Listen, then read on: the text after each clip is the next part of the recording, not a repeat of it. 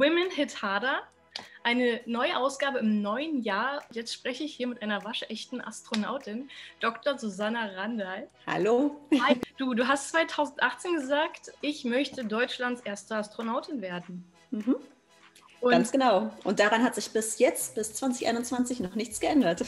du bist ja auch, ähm, oder du machst dich auch stark, gerade für die Frauen. Dieses Women Hit Harder ist also auch bei dir buchstäblich im Kopf manifestiert. Deutschland ist ähm, was Gleichberechtigung im Weltraum angeht, ähm, ein bisschen ein Schlusslicht weltweit. Also nicht nur ein bisschen, sondern extrem. Ähm, wir hatten eben elf Männer im Weltraum und keine mhm. einzige Frau. Wir müssen es halt ändern.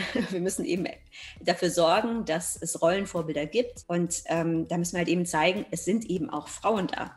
Und darum geht es eigentlich. Also das ist diese Symbolwirkung. Es gab ein Buch darüber, da ging es jedenfalls darum, ähm, dass es einen Standardmenschen gibt. Der Standardmann, der ist 1,80 groß, wiegt, keine Ahnung, 70 Kilo und ist eben ein Mann. An dem wird dann alles festgelegt. An dem werden zum Beispiel auch Sachen, an die man gar nicht denkt, ähm, wie zum Beispiel bei einer Standardküche, wo die Schränke hängen. Die sind für viele Frauen einfach zu hoch. Ja. Weil das alles für diesen Standardmann konzipiert ist.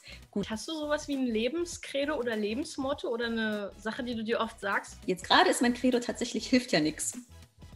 Hilft ja nichts. Ich habe am Anfang viel Zeit damit verbracht zu sagen, oh Mann, aber jetzt kann ich das nicht machen, jetzt kann ich das nicht machen. Und irgendwann, das hat mir eine gute Freundin tatsächlich gesagt, die hat gesagt, ja, ist so, aber hilft ja nichts. Und dann habe ich gesagt, weißt du was, du hast recht, hilft ja nichts. Also durch und irgendwie das Beste draus machen.